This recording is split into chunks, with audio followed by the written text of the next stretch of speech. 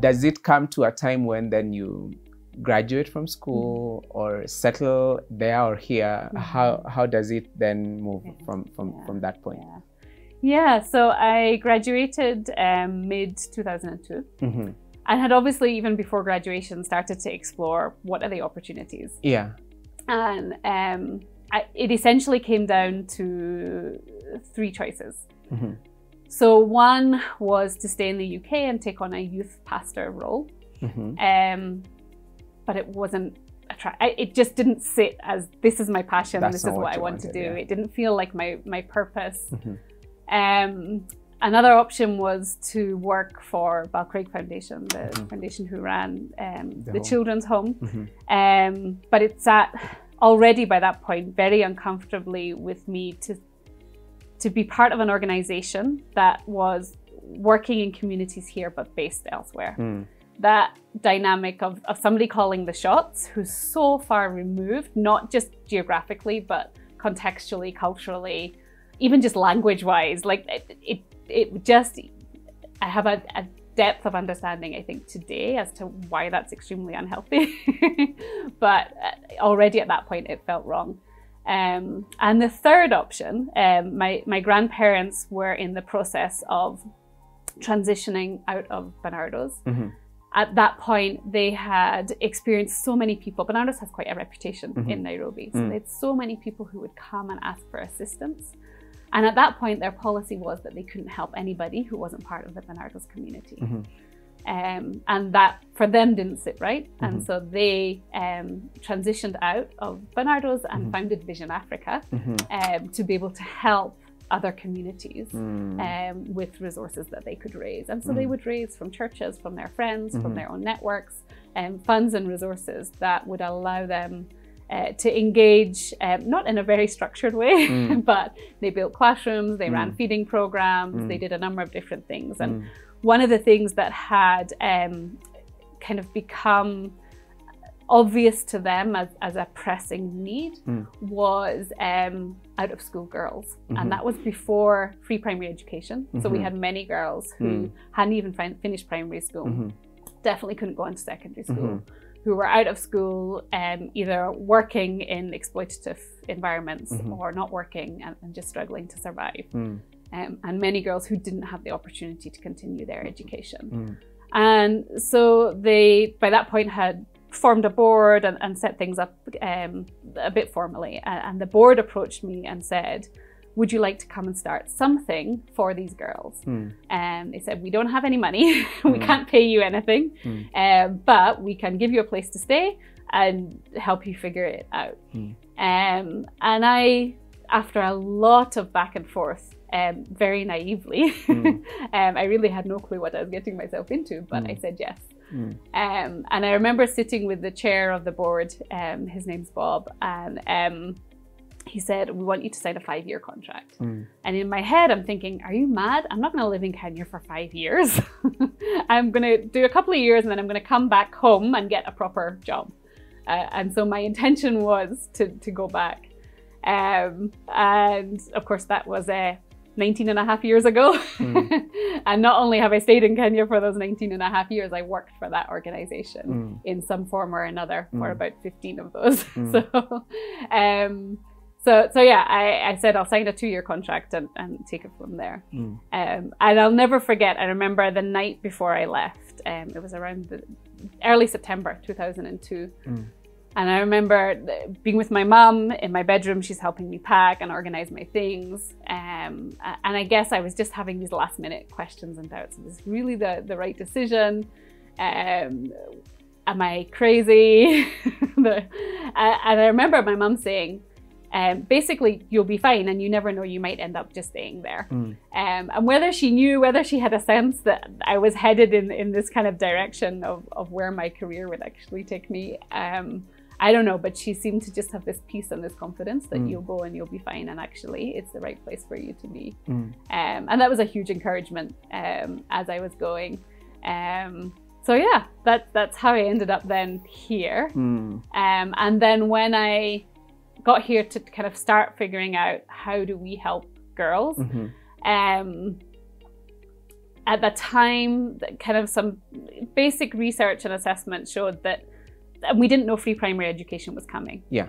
So we thought if we start a secondary school, because that was part one of our initial ideas, Mm.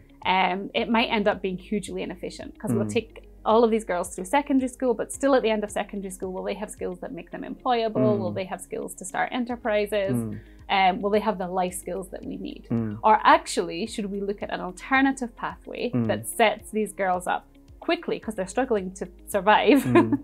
sets them up quickly Mm. um, with the skills they need to be able to earn a living, put food on the table, Mm. take care of their families, Mm. um, that kind of a thing. And that's where um, the Seed of Hope project was born. Was born.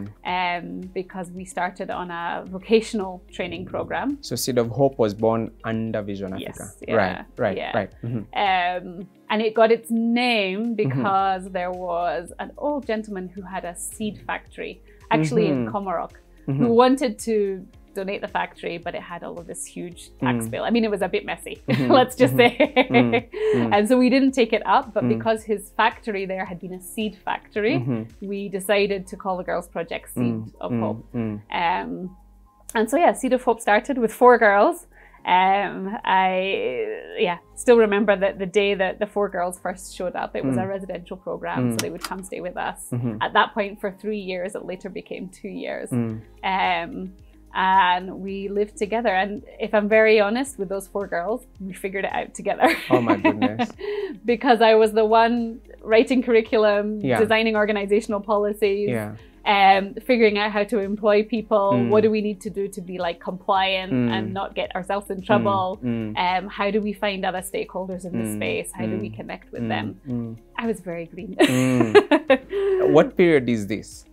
So that was late 2002 Mm. um, through kind of 2003. Mm. Um, and we walked with those four girls Mm. for really the first um, six, seven months of 2002. Mm. Um, and then took in, I think it was about another 20 girls the end of Mm. 2003. Mm, and then scaling. that began this kind of cycle Mm. of every Mm. year taking in, Mm. that was the Nairobi Center, every Mm. year taking in.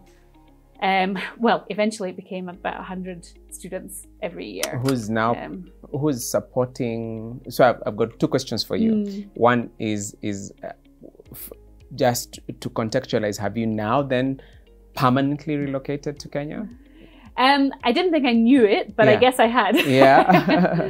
so in my head, I never expected to stay kind of for the longer term. Yeah. I definitely felt like there was a sense of purpose and meaning in what I was doing, Mhm. that it was building on all of these other experiences that I Mhm. had. Mhm. I loved being here. I loved just the work that I was doing. I, yeah, I mean, it felt right. It felt like I Mm, was in the mm, right place. Mm, mm. Hadn't answered all of those questions of Mm. what does this mean for me as somebody who's not Kenyan? What does this Mm. mean for me as um, a fairly fresh graduate? Mm.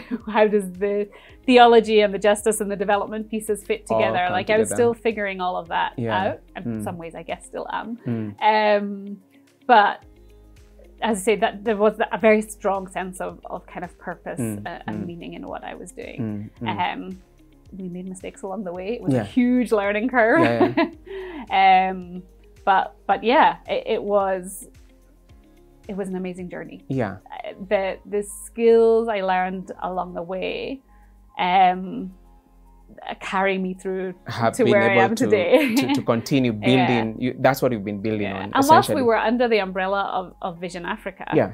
Um, I mean, it was my grandparents. They had one or two others who helped them on the ground, Mhm. um, and me. So we we didn't have this huge pool of expertise within our Mhm. organization. and funding. no, we didn't have. fun- So I had to fundraise. That yeah, that was my second question. Like where where was the where were the resources coming from for for this yeah. So it was my job to fundraise for it Mhm. as well. Mm. Um, at that age? yes. And to be honest, it was mostly kind of community-based fundraising. So it Ah. was through the church. I was gonna ask the model of, of- yeah. of, resource mobilization that you were Um, using at the time. And because, I mean, I think still at that point, I didn't really understand this international development space Field, or even yeah. that it was a space. Mm, mm. I knew that in some other part of Nairobi, there was like the UN Mm. and there was this huge community of like expats, but Mm. it wasn't a community I'd connected with and it Mm. wasn't a space I understood at all. Mm. and so how I knew to fundraise, and I guess largely because this is what I'd seen either through my grandparents or with others, was from friends, from um, church, from events, from like Yeah. Rotary clubs and Mm. Girl Guides and all of those kind Mm, of pieces, and, mm. and so that was how we Mm. fundraised. and we call it fundraising at the time. It Yeah. was it was just that. It was fundraising. It wasn't Community, yeah. yeah. it was yeah. a new business development and, No. and, and, and resource mobilization. It wasn't those huge tabs that we now know. yeah. Yeah. and we started with a very low budget. Yeah. Um, I mean, we rented a house. As I say, I stayed with the girls we brought into Mm. the program. Mm, Um, I didn't have a salary as such, um, as I had a few people from my home church who kind of sponsored here and there. mm, Um, I think I it allowed me to have an allowance of I think it was about fifteen to twenty G's a month. mm, Um, so it wasn't a huge, mm, a huge, but it put food on the table. mm. I was young, free, and single. I Mm. wasn't worried about paying anybody's school fees. Mm. um, so I guess I, I was comfortable, even though the income wasn't Mm. wasn't huge. Mm, Um, and I think because there was a, a bigger sense of calling around what Right. was I doing. I Mm. wasn't driven by mm. by money The money. necessarily. Yeah, yeah. Um, uh, and yeah, and, and we met along the way um, a couple of people who Yeah. I, today I would call high net worth individuals. Yes. I wouldn't have called them that back then, but Yeah. yeah, Yeah.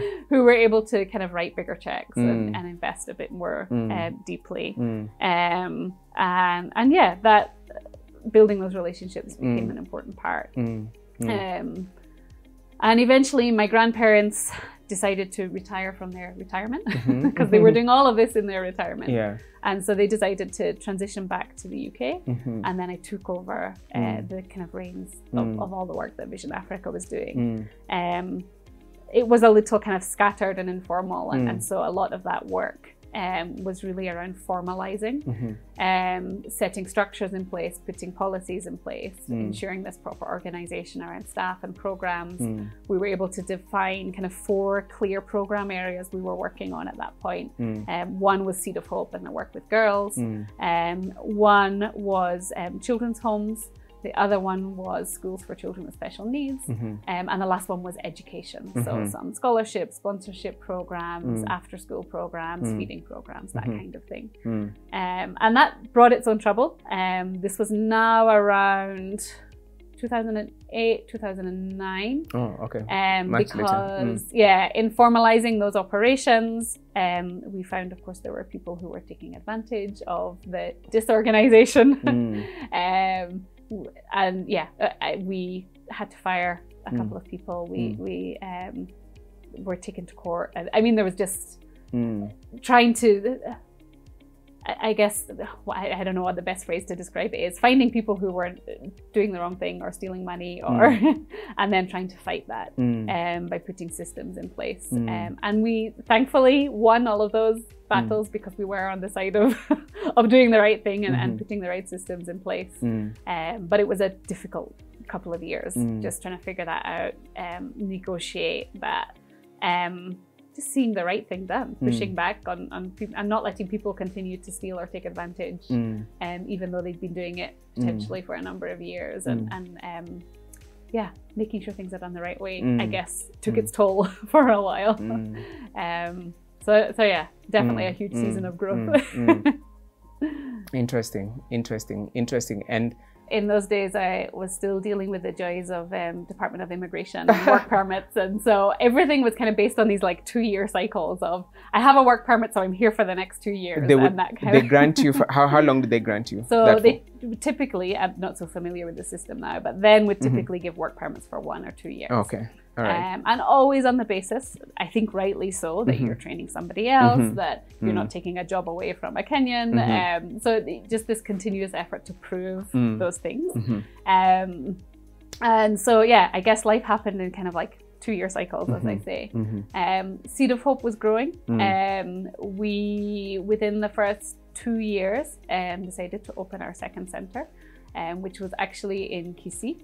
Um, so we opened a center in Nyamache in, in Kisii. Um, Mhm. So spent a lot of time traveling back and forth. Mm. Um, I used to take the old Akamba buses overnight, Yeah. then sleep in the bus station in Kisii until daylight arrived, and then Yeah. hit the road and begin to work. Yeah. Um, we didn't have a huge budget, so that Yeah. was the that was the life. That was the way to do this. yeah.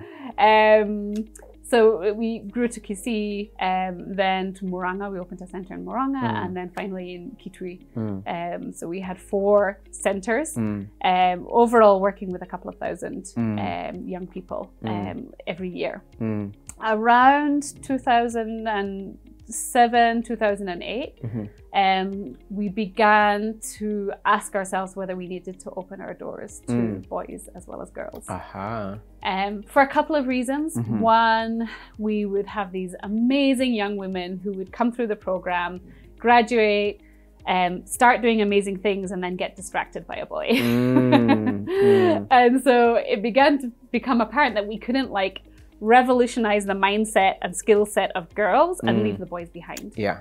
Um, because then there was a mismatch when Yeah. the girls went out and looked for a relationship or eventually marriage and that Mm. kind of thing. Um, so that was a big piece in kind of spurring us on to think about boys. Mm. Um, and another one um, was the post-election violence, Mhm. uh, 2007, 2008. Mm.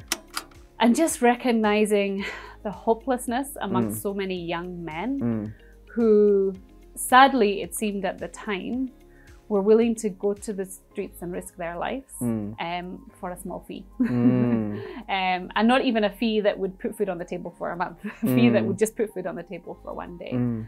Um, and recognizing the just the lack of opportunity, Mm. lack of empowerment across the youth, Mm. whether it was girls or boys. Mm. And that yes, girls face very particular gendered barriers to Mhm. their education and progress, Mm.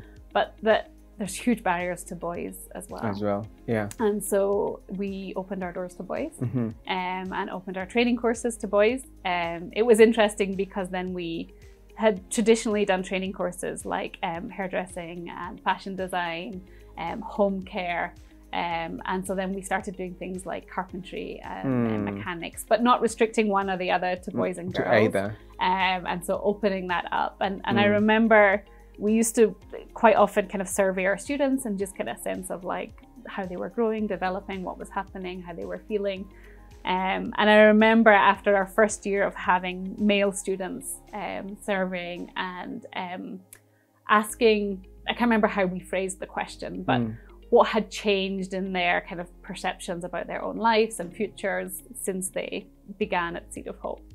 And one of the things that stood out from the boys' responses was that they now understand that women can be leaders. Mm. And that's never something we had had as like an Mm. objective or an Mm. outcome. We Mm. hadn't necessarily been working towards it. Mhm. But I think just building this environment where everybody should be empowered, where everybody had this equal opportunity. Opportunity, yeah. um, and where we did have women in leadership Mm. because we had previously been a girls' project. Mm. Um, and just the way that that in itself shifted Yeah. young men's mindsets, Yeah. I think was quite um, Yeah. unexpected and Yeah. a nice surprise. One of the unexpected outcomes. Yeah. Yeah. Mm. Yeah. Mm. Um, those across those kind of four or five years Mm. between 2002, 2008, I guess six years, Mm. um, is when I met my husband. Um, As you move into that, Yeah. that will be an interesting one. mhm. Let's take a quick commercial break to change battery, and then Sure. we'll we'll come back Okay. to that's where where I met my husband. Yeah.